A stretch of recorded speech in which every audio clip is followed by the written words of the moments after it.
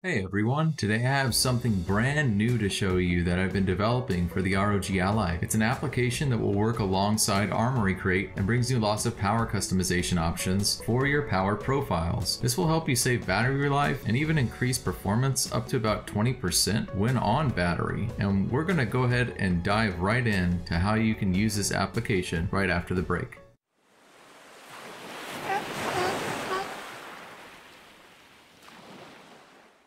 Okay, so I am proud to announce the first public release of BSL Tools ROG Ally Edition. Like I said, this is something I've been developing for the last three weeks as part of my Ultimate Windows Guide for the ROG Ally. If you haven't seen that and are a new ROG Ally owner, or if you want to find out how to get the most out of your Ally functionality, please check it out. You can download the application from my GitHub repository, which I've linked in the description. Just go to the releases section and then download the latest installer.exe file. Once this is installed, you can go ahead and open it up and then choose a folder to extract it to.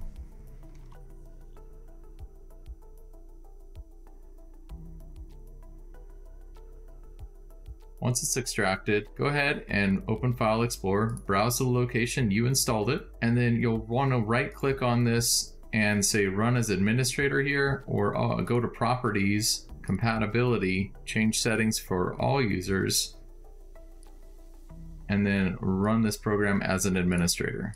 Note that this application will only work on the ROG Ally. It does not work on other devices. Go ahead and open it and you'll be presented with a disclaimer that this is a free community-based software, free of malicious intent, but experimental in nature you use this software at your own risk. Basically, this will use RyzenADJ, which can result in bans with games that have anti-cheat software enabled. So, as the developer, I do not take responsibility for any damage or bans this may incur or hardware malfunctions. If you don't agree to these terms, then you can choose to not use the software and just press the exit button. Otherwise, you can click proceed and go into the application. Then you'll be presented with a welcome screen that says you can access the settings through the main menu or the system tray menu by right clicking the icon. Now you'll be presented with a little profile thing, but we'll get into that in a second. First, we're going to talk about the hotkeys. So this has five different hotkeys you can set up. They are for turning the TDP up and down by one watt. It also has a CPU boost toggle to turn it on or off, which it's on by default. And then also power matching. And we'll get into this a little bit, but basically this will make it so that when you're on battery, you'll have the same performance as if you were plugged in. So let's go ahead first and check out the hotkey section. Here it says you can add a combination of Control, Alt, or Shift, and a number or letter. So optionally, you don't have to choose all three of them. In my case, I've just been assigning Alt and Shift, and then the numbers one through five. So for CPU boost, uh, I'm going to go ahead and assign these to mostly to the D-pad. So I'm going to choose one for this. Power matching toggle, I'm actually going to assign to the D-pad down, which I've assigned Alt-Shift 3. Profile toggle hotkey, this is going to be Alt-Shift 5 for me because I'm actually going to assign this to my left bumper um, as a secondary function and then increase the TDP hotkey. This I've assigned to my D-pad right, which I have Alt-Shift-2 assigned to, and then the decrease hotkey, which is Alt-Shift-4. So that was kind of a lot of stuff to do. But basically that'll allow me then to go ahead and go up and down by TDP. You can see I'm currently on the performance profile and we're decreasing by one watt as I use the D-pad left with the back button also, uh, now I can go up and turn off CPU boost or turn it on right on the fly. And then the same with power match power savings or max performance. So now you will have to configure these hotkeys in Armoury Crate in order for them to work, which I've already done, but I can show you really quickly where you can go to do that. It's under settings and configure you, I would recommend assigning them to gamepad mode and desktop mode in case you want to switch it while you're out of a game and you have it set to the auto profile. But inside here, you'll just go ahead and we'll go down to the directional pad and then we're going to have to create macros for each one of these. So you go to the secondary function, tap A, go all the way to the right where combine keys is, then you can go ahead and press X to add combination keys. It's going to make a new macro, which shows that it's blank. You'll then press Y to edit it. And then you can just add the combination and press enter. Oops, I'm sorry. And press B for back. Then you can just choose that macro. But in my case, I'm just going to go back. I already have this pre-set up with this macro 3, which if we look here, is left shift, left alt, and the number one.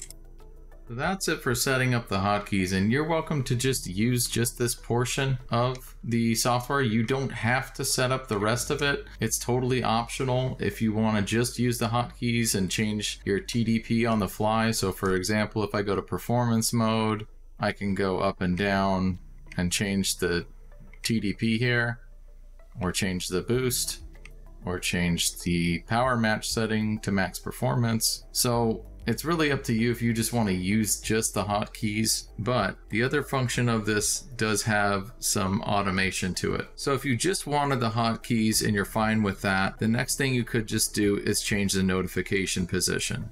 So it defaults to just being right smack in the center of the screen, but you can toggle any of these sections here and it's going to just call it up and let you see what it looks like. And just choose one that you like and once you're done with that, just click save. And now when I toggle, it'll be at the top center. So more into the automation is that we can create custom profiles with all these options available to us. The first option here is default profile. This is going to be when you start up this application, it will automatically switch to this profile. In my case, I'm just going to say performance, or actually, you know what? I'm currently on performance. Let's just say turbo say OK. And now if I exit it and come back,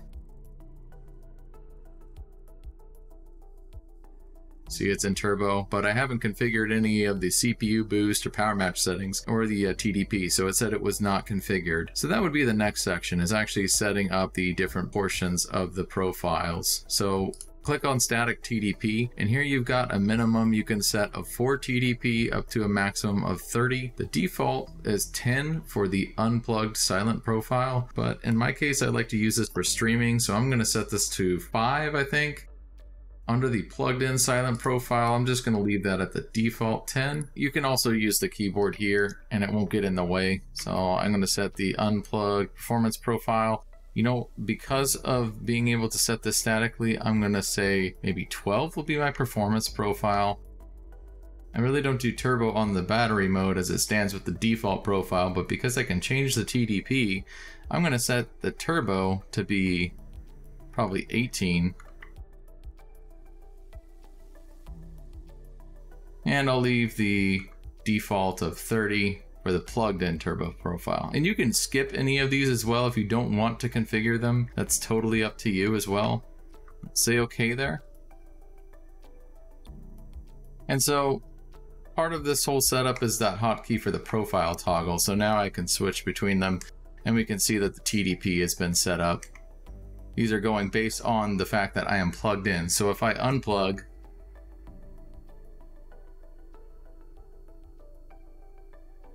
Now you'll see that it's going to follow the performance and turbo profile and silent profile that I set.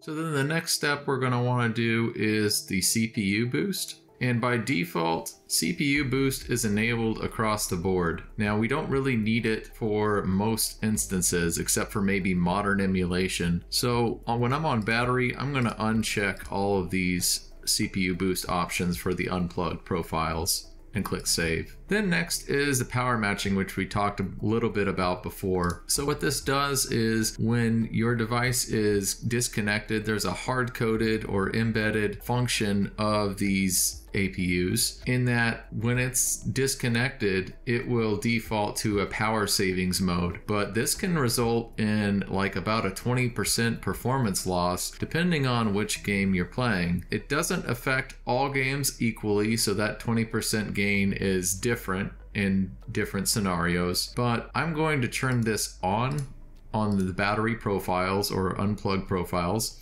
and it's already on by default when you plug in. So as you plug in, normally the hard coding switches to what is considered max performance, and then when you unplug, it defaults to power savings mode. So I'm going to go ahead and click save there. And then lastly, this other feature is the auto switcher. Now, this is something that when turned on will enable power matching to automatically follow whether or not you're unplugged or plugged in. So that way, if you wanted that high performance on battery all the time without having to toggle it with a hotkey, you could just enable this here and then it will respect it and follow it across any profiles that you connect to, whether they are the custom profiles that you configure in this application or the profiles you use through through Command Center. Another thing I want to mention is that the profiles in Command Center do override any of the custom profiles that we have configured here. So for example, if I go and switch the custom profile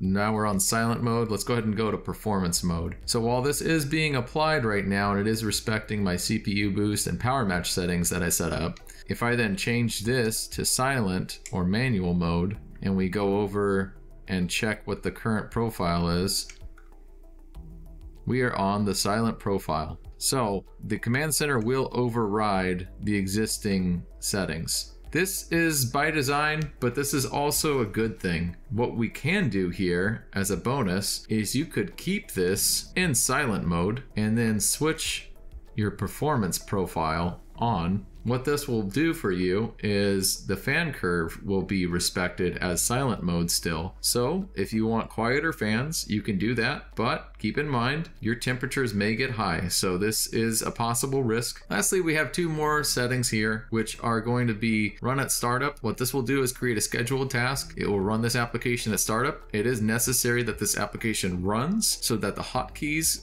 are functioning. Otherwise, none of this works. But when it runs at startup, the window, this main menu here will not appear. It will just be sitting in your system tray. Then lastly, we have reset all settings. This is going to remove anything except for your hotkeys. And it mentions this here as well. So if you wanted to go and reset all of the profile settings, then you can just do that by following this and still retain your hotkeys. If you click the minimize button here, it will just go to the system tray. And then in the system tray, if you right click, you've got a few different options to get current profile, which displays whatever power profile you're currently on. Reopening the main menu, all of the main menu features are also here. And then lastly, you can report an issue. So this will tell you that you're going to be redirected to the GitHub issues page. And if you click OK, that's going to let you post any sort of issue or maybe a feature request that you would like in this application. I hope you enjoyed the tutorial for the BSL Tools ROG Ally Edition. If you have any questions, please put them in the comments below, and I will see you guys next time.